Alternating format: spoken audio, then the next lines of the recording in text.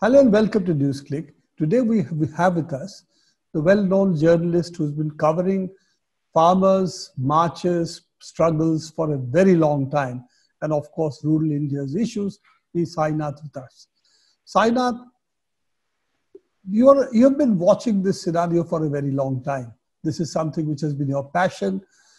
Tell me, what is the new set of measures the government is introducing, including the APMC abolition bill?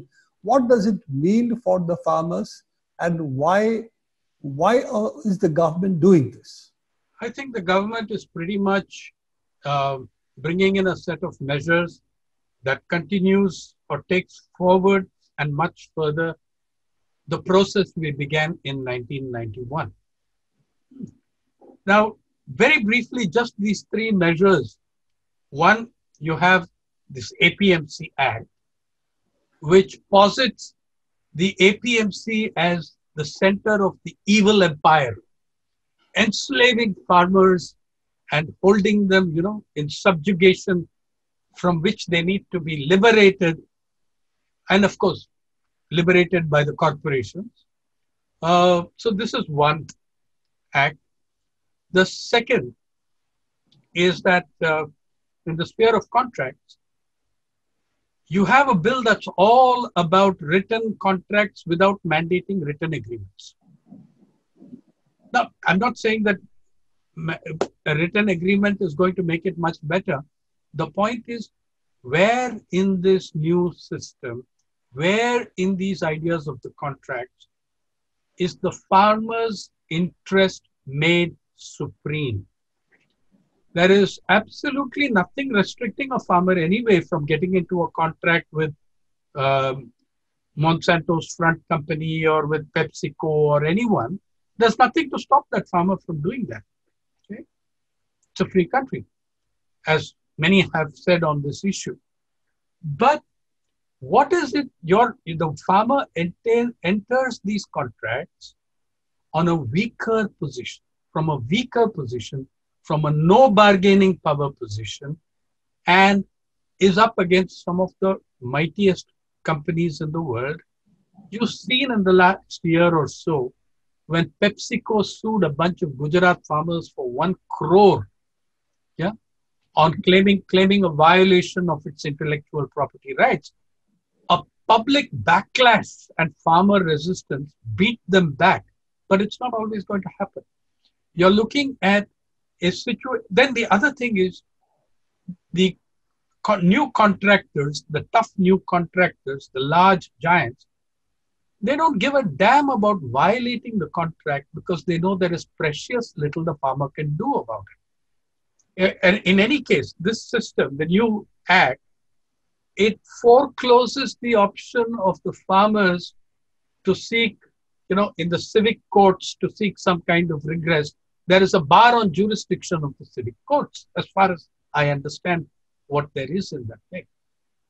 And even if you manage to get a legal process, where are, uh, say, I am the corporation and you are the farmer. I say, Prabir, I'm going to give you 8,000 rupees per quintal for your produce. And this is the contract. And halfway through, I say, sorry, world prices have dropped. You're going to get 3,500, take it or leave it. There is virtually nothing you can actually do about it. There is nothing uh, that forces them to pay up. Hmm? In the uh, in the act, there are things about fines on them. You know, which mean nothing to them. There are trivial things that they will just discard. The third one is about the new or amended Essential Commodities Act. And this new Essential Commodities Act essentially tells you that all these commodities are no longer essential, except under extraordinary circumstances pitched at a level by the government so high that they are unlikely to ever be met. So you really have a lot of action further gutting farmers' access on the issues of MSP, on stability in price. Here's a very simple thing. what are the farmers demanding everywhere in the country? They are demanding an assured price. They are demanding stability. Yeah, that is. And which of these acts offers them either of that? It offers them volatile fluctuation. It offers them depression of prices. Okay, but let's probably take this APMC thing. It's actually at one level quite entertaining how many people are falling for a most stupid and discredited principle, which is essentially free market as freedom and state support as slavery. Hmm? The state giving supports to corporations, that's incentives. State giving support. tax breaks. Yeah. That's also incentive. Tax breaks, uh, outright grants. Please, in 2013, the UPA government started a thing called the Million Farmer Project. You remember it? In which corporations were brought in, specific corporations, you can, I'll name them for you. 3,500 crores outright grant, another 4,000 crores allocated under various heads for it. These corporations were to take up so many thousand farmers each and train the farmers, poor guys, ignorant ones, into how to conduct agriculture. So ITC, ITC Kolkata, had was going to teach farmers in Tamil Nadu how to grow better ragi. You know, they were going to teach them how to grow ragi, which, of course, the poor farmers of Tamil Nadu have little experience of, just 2,000 years or so. Um, and so you had ITC farmers Ambani farmers, Tata farmers, you name it. Nothing. Every single paisa went down the drain. The idea that private capital was going to come in with this incentive and start doing things to help farmers do better, that was nonsense. But come back to this point. APC is evil empire, the deadly monopoly. The APMCs came into being as an attempt to break that very monopoly of sahukars, commission agents, traders, and other parasites as well. In fact, originally it was really the big traders yeah. who corner food stocks when the farm produce hit the market and then depress the prices and then of course later on hoard them and sell at high prices yeah. This is the post-independence phenomena at which I think Nehru has once said, I want to hang the black marketers from the lampposts. That was the uh, mahal, the environment within which they this, this act really came about. And what they're doing is really going back, it seems, to the fact that the traders will now dictate to the farmers what they could not have, they have not been so successful in doing because of MSP, because of government procurement, and of course because and, of regulation. And if you look at that act, you know, it, they're actually claiming, they are actually claiming that this we, we are doing this with a view to increasing the income of the farmer. Hmm. Now, farmers were never under any restrictions under the Essential Commodities Maintenance, uh, Essential Commodities Act. They were never under any restriction from stockpiling their own produce. The restrictions were precisely for those big traders, those money lenders, those hoarders and black marketeers, agribusiness, corporations. That's who the restrictions were for. Now they are completely lifted and will only be brought in under extraordinary circumstances.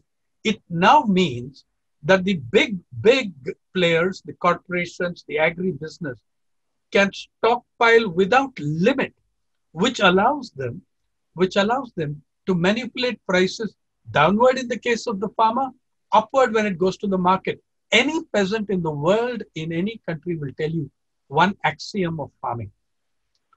When the produce is in the hands of the farmer, price falls. When the produce shifts to the hands of the trader or intermediary, the price goes up. The difference now, Praveen, the mall in which that act came, there were thousands of traders in, across the country who were subjecting the peasantry to this kind of uh, torment. The aim now is to simplify that and reduce it, the control, to that of half a dozen companies and corporations. Now, how is that? How are these corporations going to function if they're able to? Because I'm not so sure that the government's intent will succeed immediately. It will create chaos, in my opinion. But what the companies will do when they move into the field is, hmm, is if there were 10 of those old intermediaries, they will incorporate, integrate, recruit three out of those 10. Yeah. Because there are going to be other intermediaries above them handling them. They don't need 10 guys. They will take three and integrate them into that. The new intermediaries, Prabir, are going to be wearing Armani and Gucci's. That's another significant difference. And if you look at what you are saying, what it means is, for instance, we have now a Ambani enter retail in a very big way. They will procure directly from the farmers using the intermediaries, Armani, Gucci, or anything else otherwise.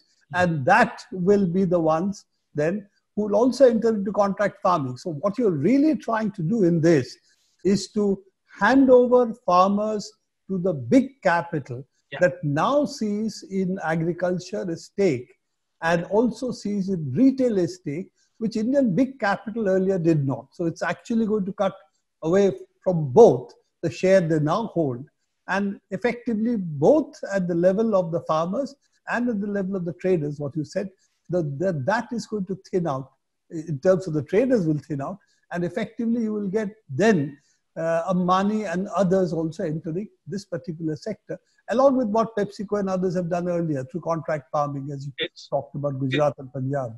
The same as they are doing in every other sector with one major difference. It, it's the same what they've done in health, in education, in banking, you know, trying to create those super banks why do you have so many of these small banks? Things like now they're trying to kill the Bank of Maharashtra, a profit making bank that has been repeatedly looted by the likes of Vijay Mallya and co.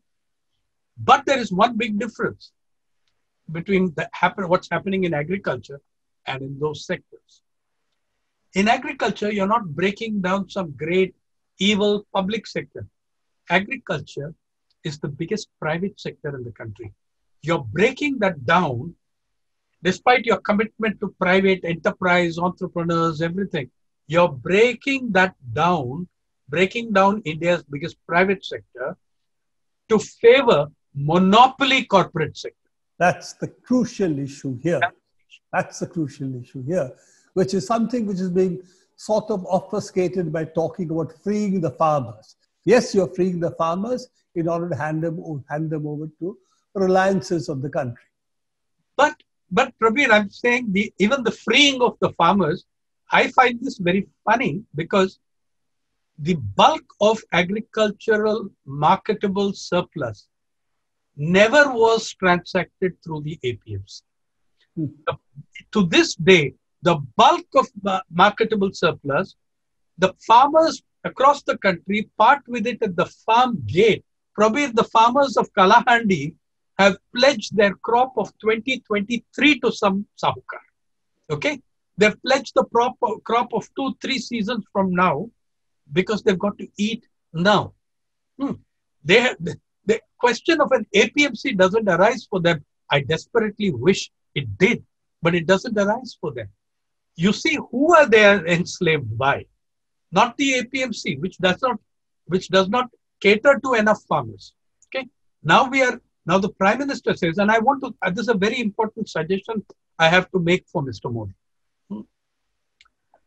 He has repeatedly made two claims. Okay. He has been very angry about his integrity being questioned on this.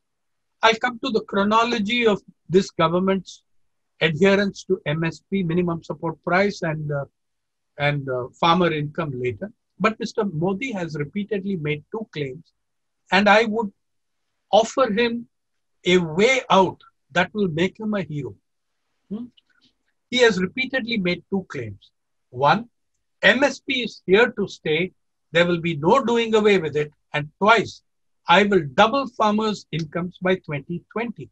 I wish I had a hundred bucks for each time he has said this. Yeah. If this is the case, if Mr. Modi is standing personal guarantee for that MSP and the doubling of the farmer's income, all he has to do is to introduce a five paragraph bill in parliament which will be supported by every single member of parliament. He wouldn't have to silence criticism in parliament anymore because there would be very little criticism. If he put up a bill saying, why not introduce a bill guaranteeing these two things?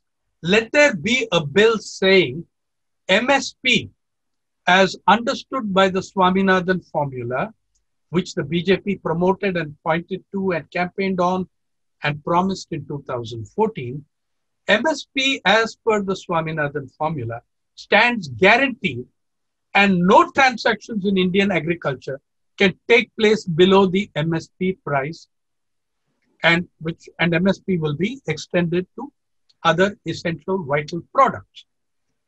And secondly, announce a cancellation of farmer debt and farm laborer debt because there is no way you will double the incomes of those who are drowning in debt. Debt. So you do these two things. Five paragraphs you put down and put it. All those MPs will come back and you know, and all those MPs, all those political parties, and those farmers will be on the streets to celebrate your action. You well, ran, you ran through those through three bills with such ruthlessness and hardship. This would pass like a breeze. You know, Sainath, I, as you know, during emergency was the Congress, Mrs. Gandhi's regime's guest. And I had, at that point of time, close contact with a lot of the later leaders of the Janasangh and now BJP.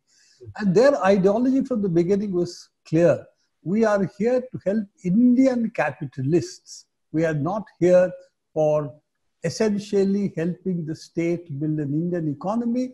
We believe the Indian capitalist will build that economy.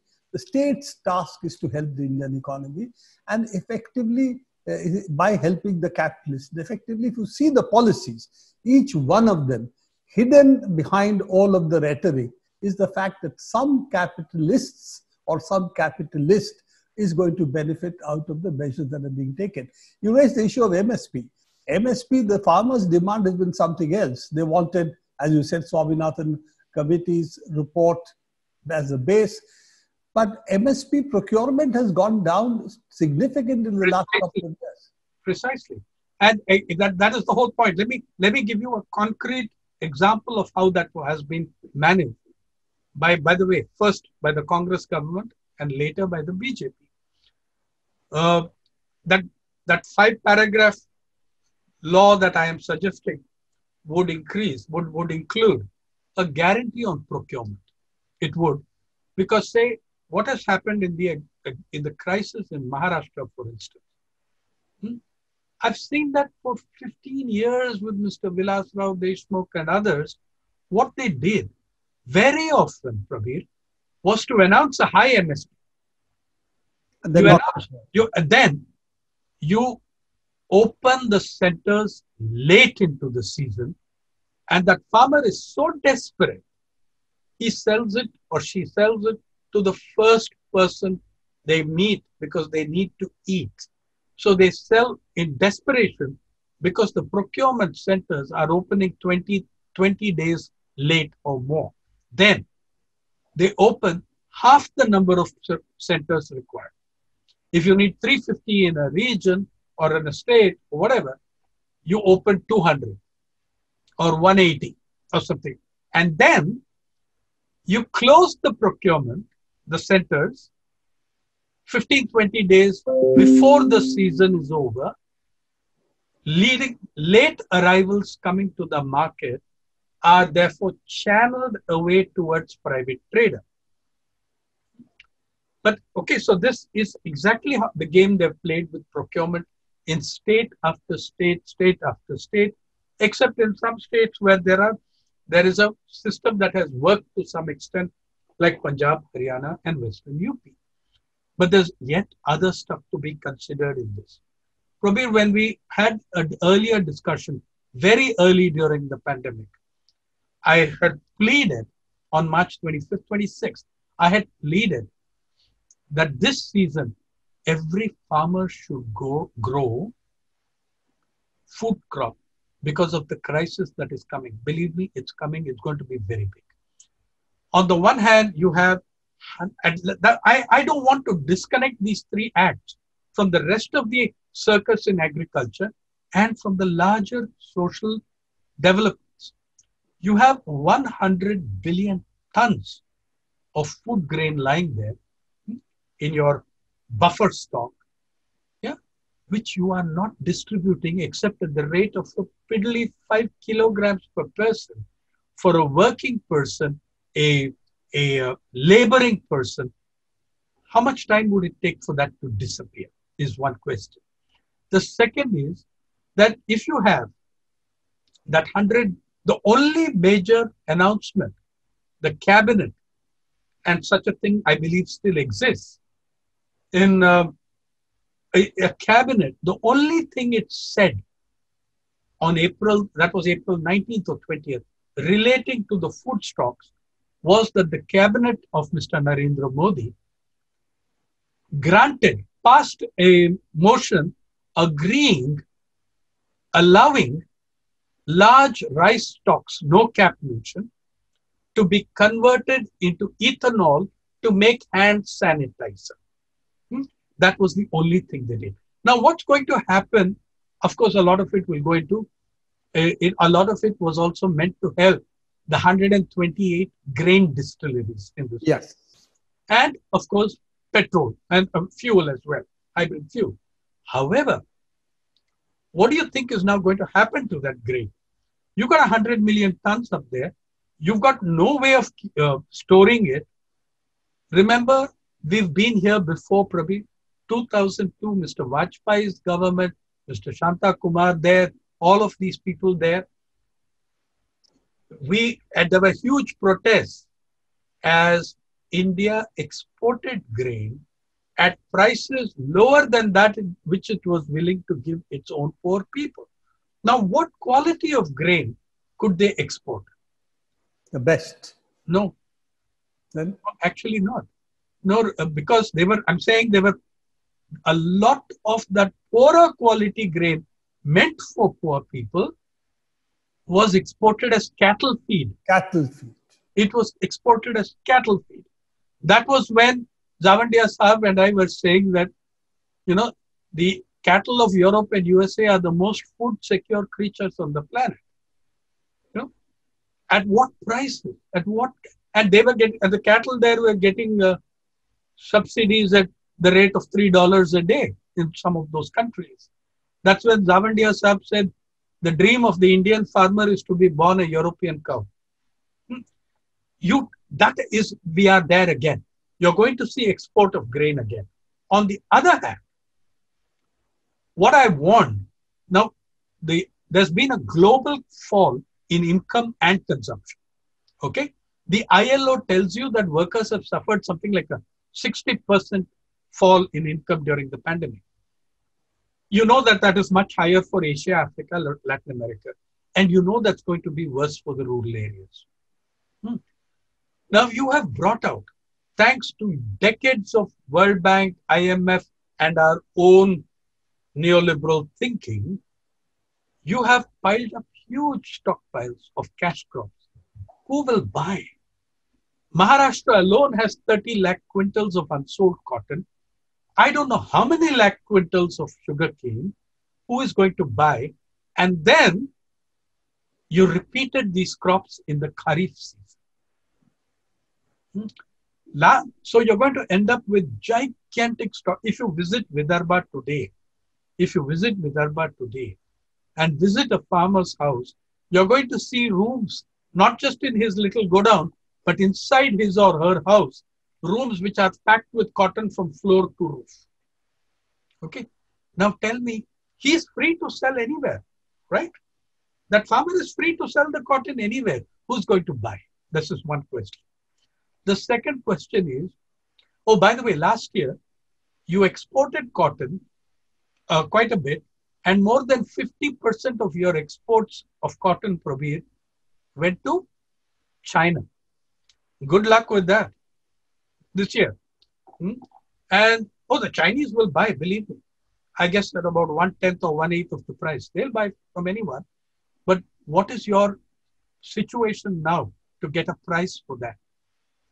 This idea that you're liberating this farmer from the APMC and he can sell anywhere is exactly the idea of liberating the farmer and peasant and farm laborer from the drudgery of agriculture, which saw millions of them in the last two decades drop out of agriculture and come here to become your migrant laborers, whom we only noticed as a society when they upped and marched away from March 25th onwards.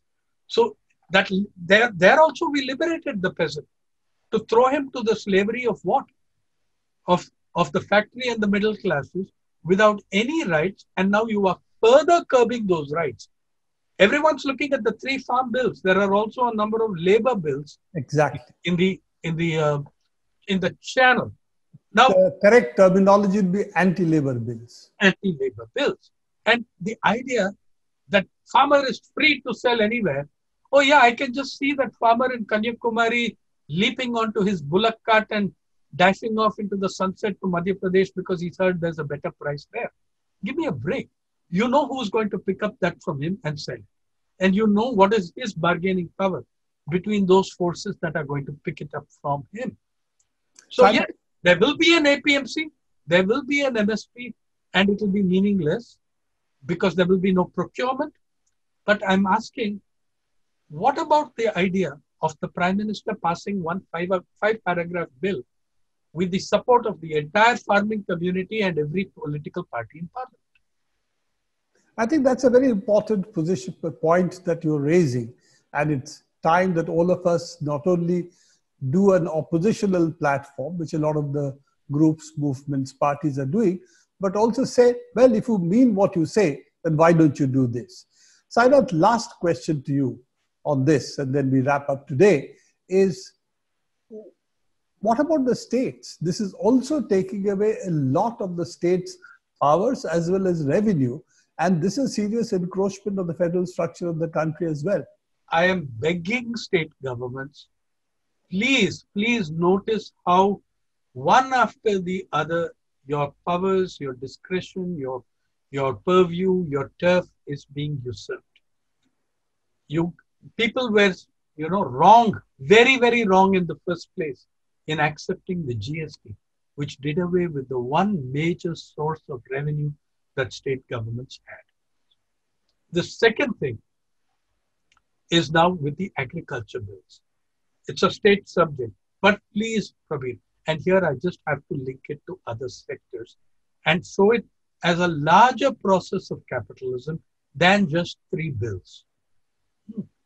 The, the your this taking away of power from the states, it has been going on since 1991 and accelerated from 1994-95 when you got into the WTO set of arrangements that continue to exist. The, you know, whenever the, there was a crisis, the government would say, agriculture is a state subject. How many times did Mr. Pawar say that in Parliament? Agriculture is a state subject. But the states never were consulted by the decisions and position making and decision taking of the bureaucrats and their corporate sponsors in the WTO. So you had a very fake kind of decentralization saying agriculture is a state subject, you know. And now we have Panchayati Raj, that woman Sarpanch, a wonderful person who is then blamed for larger actions of agriculture which are nowhere in her control. So the states were having their powers whittled away right from then right from the time of the WTO arrangements. The second thing is, let's look if if this entire process is going to, as it would, whittle away the at the MSP and the uh, you know APMC and allow the farmer choice. Let's look at how that has worked out in two major sectors. Let's look at how it's worked out in health and in education. Hmm?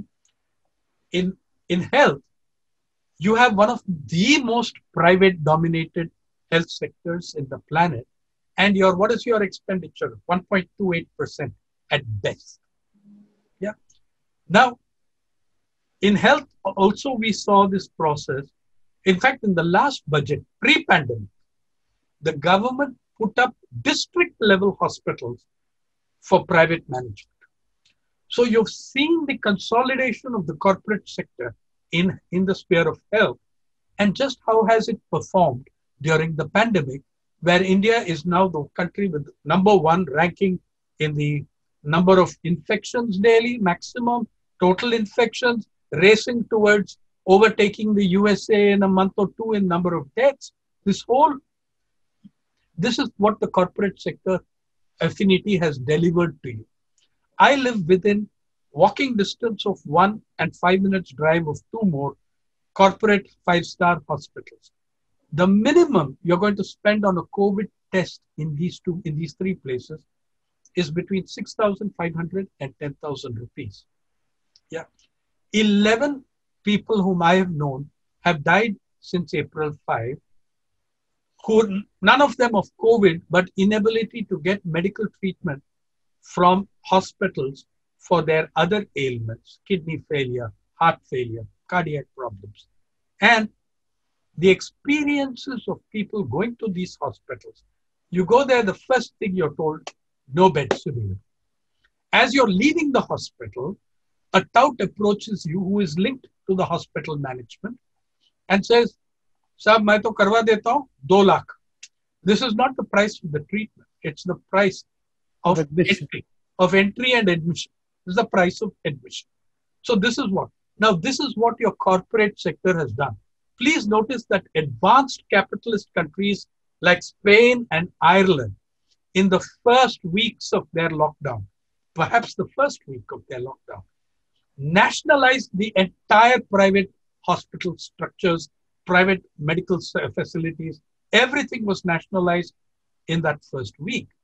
It was more than a month before the first government here sought 50% beds from the hospital, private hospitals Maharashtra did demand 80%. You know, and but we are going to somehow think that these guys are going to produce different results in agriculture. In education, you've had actually, I think the APMCs, the government schools are the APMCs of the education sector. They're highly flawed. They're extremely poorly organized, or there are all sorts of problems within them in various ways, including under the dominance of the BJP, the kind of textbooks they're given, okay, in which Hitler may have been a great man or, you know, all sorts of other nonsensical stuff that comes into them. How many, ch- now when the pandemic comes, the lockdown comes, Prabir, how many girl children below the age of 15 own a smartphone? Hmm. Byju's value. The value of Byju has doubled from 5.5 billion to 10.5 billion in 12 months, but most of the growth has come in the six months of the, in the months of the pandemic. Now you're going to get the corporate sector tightening their grip more and more on education. The private universities have recalibrated their planning. They now know they can smash uh, teachers' unions. They will never allow them to come. They're going to shed a lot of number of teachers and use freelancers. So they, but Prabir, the students now have choice. There are thousands of different schools and colleges, right, which are outside the educational APMCs. Now, where the private sector and corporate sector have, now take one, I'll end with this one last product, which is entirely operating outside the APMC milk. Okay, Maharashtra you saw, and I think NewsClick carried those clips of farmers pouring milk on the streets. When the pandemic came, I'm living in Mumbai, and we pay in our household 48 rupees to 60 rupees per liter 48 rupees for cow milk, 60 rupees for buffalo milk. Because of the struggles of the Maharashtra farmers, led primarily by the All India Kisan Sabha, because of the huge struggles of at March, in March, those farmers were getting 30 rupees out of that 48 rupees price. So the farmer's price was 30 rupees. By April, the farmer was getting 17 rupees, a fall from almost 50%, 45% from 30 rupees. But we continue to pay 48 to 60 rupees. Okay. So that's how the private sector operated. Now, education, in, in health, in education, you name the sector, you can look at how the corporates and the corporate sector have operated. What makes anyone think that neoliberal capitalism and co- the corporate world are going to op- achieve different results in agriculture? That's a very strong closing statement, Sainath, that if we looked around us, we would see what has already happened. And if we believe, after all these years, that this particular statement, that the farmers are being freed to be delivered to whom we don't know, that if we go by the experience that you are talking about, I think the answer is really clear that it is going to be delivered bound hand and foot to big capital. And that is the basically what this freedom is supposed to be. Thank you very much, Sainath, for being with us. And we'll come back to you on this and other issues. We still have to discuss with you another time the issue of Indian media, particularly under current conditions. This is all the time we have today for NewsClick. Do keep visiting our website and do watch our videos.